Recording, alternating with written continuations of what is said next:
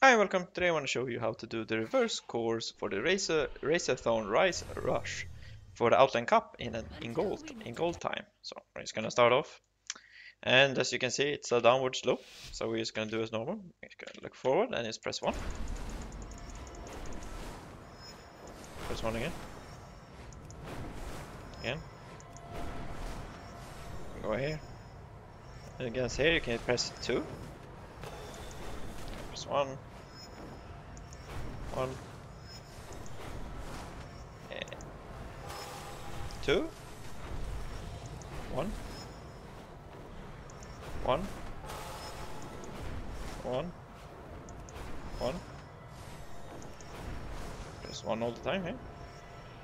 Slow down a bit to get control.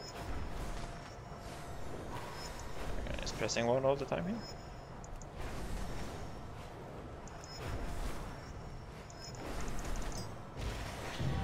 Yeah, six seconds to spare. Yeah, hopefully this was helpful.